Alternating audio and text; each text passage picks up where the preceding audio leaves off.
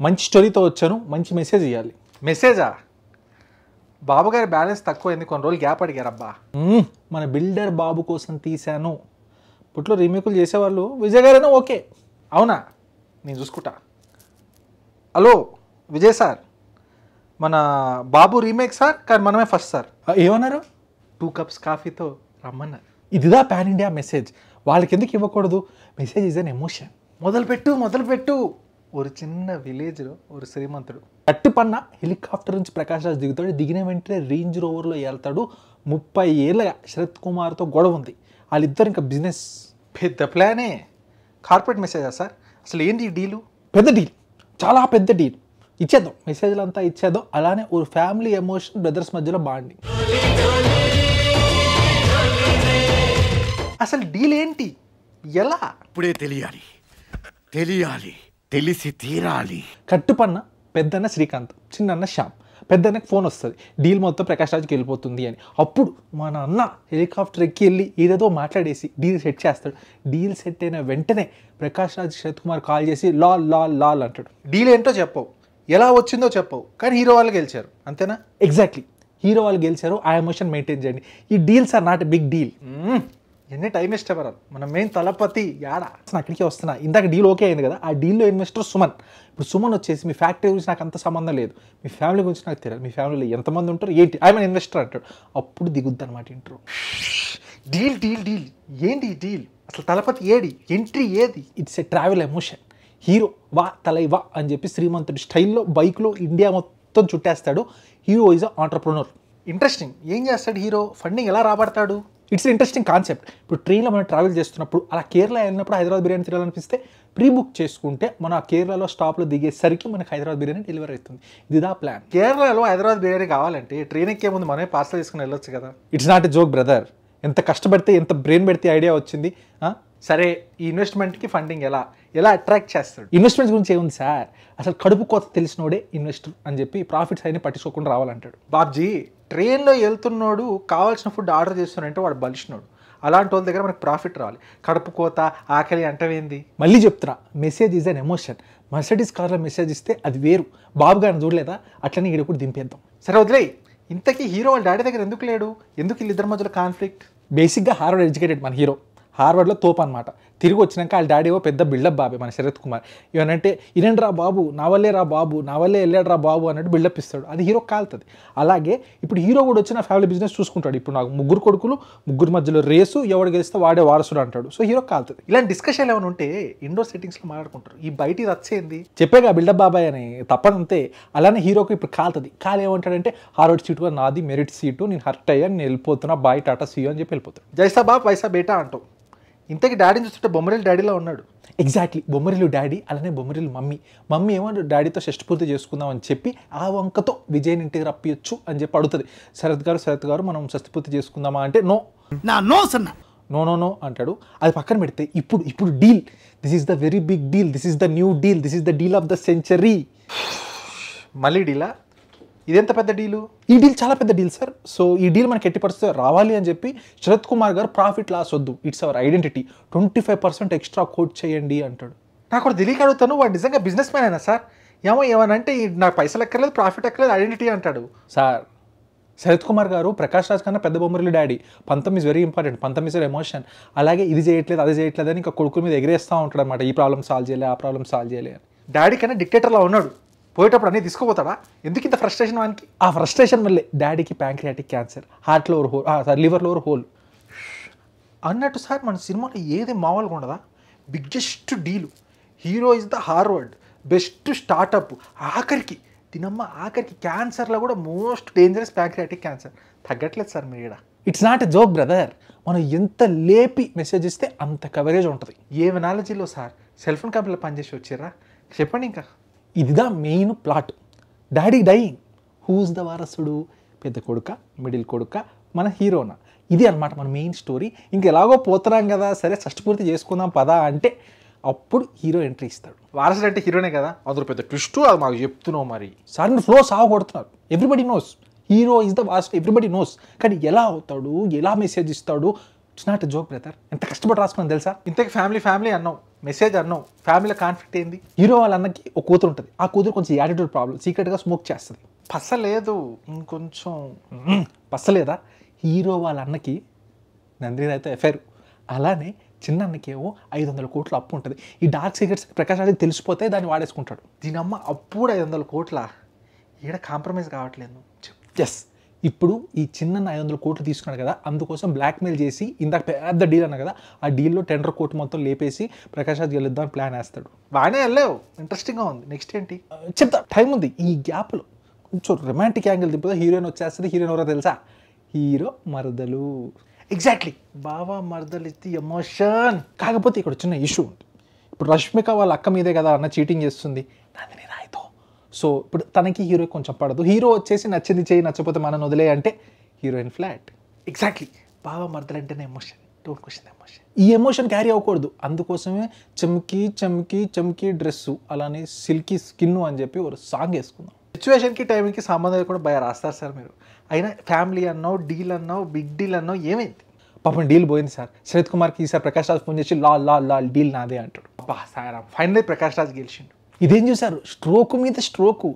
షష్టి పూర్తిలో డీల్ పోయిందని తెలిసిన తర్వాత ఇప్పుడు అన్న వాళ్ళ అఫేర్ నందిని రాయ్ వచ్చేస్తుంది అనమాట వచ్చేస్తే అందరు తెలిసిపోద్ది అఫేర్ ఉందని. అయినా నందిని ఎందుకు వచ్చింది ఫంక్షన్కి ఇప్పుడు మొత్తం బిస్కెటేనా? ఇదేం చూసారు నెక్స్ట్ ఆ ఫైనాన్షియల్ కాడ వస్తాడు. ఐదు వందల కోట్లు ఇచ్చింది నేనే. టెండర్ లీక్ చేసేది మీ కొడుకి అని చెప్పి చెప్తాడు. ఈ ఫైనాన్షియల్ గారు కనపడాలి ఐదు వందల కోట్లు మనిషి ముఖం చూసి ఇచ్చిండా? కులాటల్ అనేది ఒకటి ఉంటుంది తెలుసా సార్ మీకు? అంతేకాదు ఆ ఫైనాన్షియల్ గాడు గూండాగాలతో వచ్చి మరి వార్నింగ్ ఇస్తే అప్పుడు హీరో వచ్చి ఒక గుద్దు గుద్ది బిజినెస్ ఉంటే గేట్ బయట చూసుకోండి. ఇట్స్ ఎ ఫ్యామిలీ అంటాడు. ఇప్పుడు చిన్నోడు అసమర్థుడు. ఐదు వందలు అప్పు చేసి బిస్కెట్ చేసిండు. అన్న కఫేర్ ఉంది. కానీ సమర్థుడే కదా. ఆయనకే ఇవ్వచ్చు కదా. హీరోకే ఎందుకు ఇవ్వాలి? దానికి లాజిక్ అంటే ఎట్లా? వారసుడు వర్జన్ అయి ఉండాలి. దట్స్ ద కండిషన్ ఆ లెక్క ప్రకారం హీరో వాళ్ళ డాడీ వచ్చి Vijay you are the virgin వారసుడు. అంటే హీరో ఏమో నో ఐఎమ్ సారీ నాకు ఇంట్రెస్ట్ లేదు. అని చెప్పి వెళ్ళిపోతాడు. ఇది ఎక్స్పెక్ట్ చేయలేదు. హీరో వెళ్ళిపోతాడా? మరి ఎలా? హీరో వెళ్ళిపోతున్నప్పుడు డాడీ వాళ్ళ ఫ్రెండ్ వచ్చేసి డాడీకి ಒಂದು హార్ట్లో ఓ సారీ ప్యాంక్రియాటిక్ క్యాన్సర్ అనగానే వెనక్కి వచ్చేస్తాడు. వెనక్కి తిరిగి వచ్చేటప్పుడు వచ్చే బీజిఎం ఆ హయ్యే వేరు. అదే అనుకున్నాలే కొత్తగా నువ్వు ఎప్పుడు రాయాలి? మార్చి మేము చూసినాం. It's not a joke brother కొత్తగా ఎవడైనా రాయగలుగుతాడు. అదే దోశను అటు తిప్పి ఇటు తిప్పి సాంబార్ల ముంచి ఇచ్చేవాడే మహానుభావుడు. అదే చేత్తో టూ కప్స్ కాఫీ చెప్పు. కామెడీగా ఉంది మీకు. మీకు అర్థం కావట్లా? ఇప్పుడు హీరో ఎంట్రీ సూట్ వేసి నెత్తికి జెల్ వేసి రోల్స్ రైస్ కార్లో ఎంట్రీ డిస్క్రిప్షన్ వద్దు మహర్షి నేను చూసా ఇంక చెప్పు నెక్స్ట్ ఏంటి? ఇంక ఇద్దరు బ్రదర్స్ హట్ అవుతారు. నాకు ఇయలే మా తమ్ముడికి ఇలే వారసుడు ఈడో కొత్తోనికి ఇచ్చినాం మేము హట్ అయినాం డాడీ ఇట్లయితే బాగాలేదు అని చెప్పేసి ఇల్లు వదిలేసి వెళ్ళిపోతారు. అన్నలు మళ్ళీ వెళ్ళిపోతారా? ఇదేం conflict it's a family conflict సంక్రాంతికి సంక్రాంతి సినిమాలో లాగా ప్లాన్ చేద్దాం. అనుకున్నా ఇప్పుడు హీరో వచ్చి మీరు ఆ హీరోయిజం దేకు అని చెప్పి ఫ్యామిలీ మొత్తాన్ని కలిపేస్తాడు. ఎగ్జాక్ట్లీ కానీ ఫస్ట్ అన్నలకున్న తిమ్మిరి దించాలి. సో పెద్దన్న తమ్ముడి మీద యాభై మందితో అటాక్ చేస్తే మన హీరో సింగిల్ హ్యాండిల్ వేసేస్తాడు. నెక్స్ట్ ఏంటి? చిన్నతో ఫైటా లేదు. అలా వైకుంఠపురం చూసారా? అందులో బోర్డ్ రూమ్ సీన్ ఉంటుంది కదా? బాగుంటుంది కదా? బాగానే ఉంటుంది. అంటే మరి ఇంకా ఇంకా కాన్ఫ్లిక్ట్ ఏముంటుంది ఇంత స్మూత్గా అయిపోతుంటే. కాన్ఫ్లిక్టే కదా? డివోర్స్ పెద్ద ఆయనకి డివోర్స్ అంతే. ఇదే గ్యాప్లో ఇంకా కాన్ఫ్లిక్ట్ కావాలంటే హీరో వాళ్ళ బిజినెస్కి మెయిన్ ఇంపార్టెంట్ ఒక మైన్ ఉంటుంది. ఆ మైన్ గవర్నమెంట్ సీజ్ చేసేస్తుంది.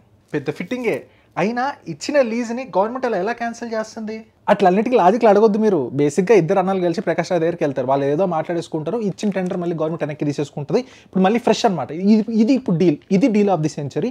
దీనికి పదిహేను రోజులే ఉంది. టెండర్ ఓవర్ వేస్తే వాళ్ళే గెలుస్తారు. Hero versus villains. ఏం కన్వీనియన్స్ సార్? ఇప్పుడు ఏంది లీజ్ క్యాన్సిల్ మళ్ళీ టెండరా?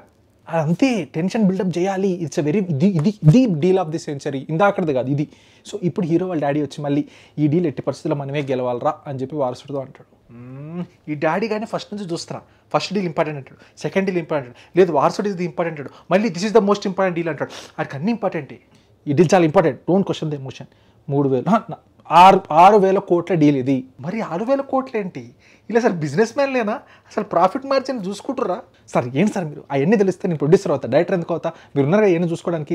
ఆరు వేలు నచ్చలేదా? సరే విలన్ వాళ్ళు పది పది వేల కోట్లు కోట్ చేద్దాం అనుకుంటారు కానీ దానికి ఇన్వెస్టర్ కావాలి. ఇప్పుడు ఆ ఇన్వెస్టర్ కూడా ఎత్తుతుంటే మన ఇచ్చే సూర్య వస్తాడు నేనే ఇన్వెస్టర్ అవుతా అని. కాకపోతే ఎయిటీ నాకు ట్వంటీ పర్సెంట్ మీకు అంటే వాళ్ళు నో నో నో అంటారు. సరే సెవెంటీ ఫైవ్ ట్వంటీ ఫైవ్కి సెట్ అవుతారు. అది కూడా చాలా సాడ్ డీలే కాకపోతే ఈ ఇద్దరు అన్నదమ్ములు ఏంటంటే మనకి లాస్ వచ్చినా పర్లేదు కాకపోతే డాడీ మీద గెలవాలి అని చెప్పి డీల్కి ఓకే అంట. ఈ ఇన్వెస్టర్ గారు నమ్మొచ్చా? సడన్గా వచ్చేసి పదివేల కోట్లు ఎట్టి గెలుస్తాడు? అయినా ఓకే చెప్పండి ఇంకా కంటిన్యూ చేయండి. ఇప్పుడు రిజల్ట్స్ ఈ రిజల్ట్స్ ప్రకారం ఫస్ట్ గెలిచింది విలన్ విలన్ వాళ్ళు గెలుస్తారు కానీ హీరో కూడా గెలుస్తాడు.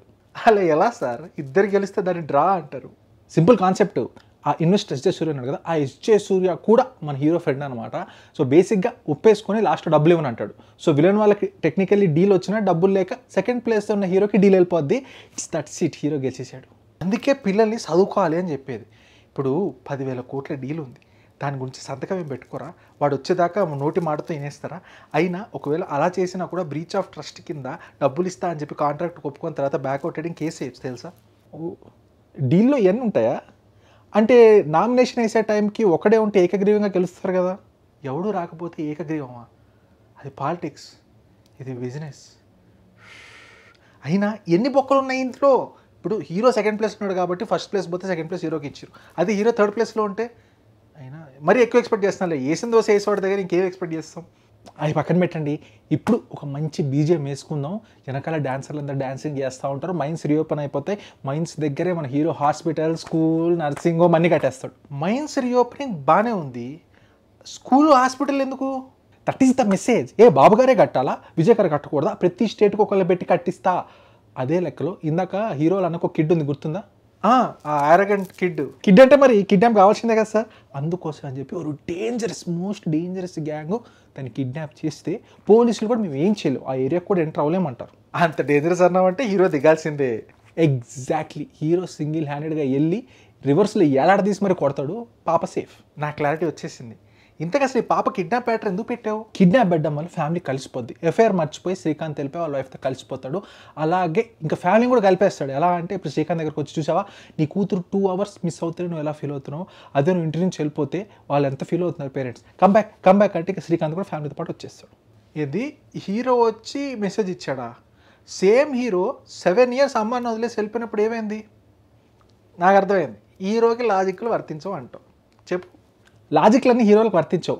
ఇవన్నీ చూసిన హీరోయిన్ ఇంకా ఫ్లాట్ అయిపోద్ది అనమాట ఇప్పుడు ఒక సాంగ్. వాళ్ళ పిట్టలో వలపు నీ బయట మెట్టుపై వాలిందే. దిమ్మ తిరిగే దిమ్మ తిరిగే దుమ్ము దుమ్ముగా దిమ్మ తిరిగే. రంజితమే వయసు వాస్తు రంజితమే సున్నితమే సున్ని ఎన్న జిరాక్స్ తలేవా సరే పెద్దన్న వచ్చిండు. చిన్న పరిస్థితి ఏంది? చిన్నకు కూడా ప్లాన్ చేశా. ఇప్పుడు నాన్నకు సీరియస్ బెడ్ మీద ఉంటాడు. చిన్న కొడుకుని చూడాలంటాడు. ఇప్పుడు హీరో వెళ్ళి చిన్న కొడుకు దగ్గరికి అన్న అన్న దా అన్న డాడీ బెడ్ మీద ఉంటే నేను రాను రా అంటాడు. ఏదో ఒకటి అనుకునే ఉంటావుగా. చెప్పు. ఆ సిక్స్ థౌసండ్ టెన్ థౌసండ్ కూడా డీల్ ఉంది కదా.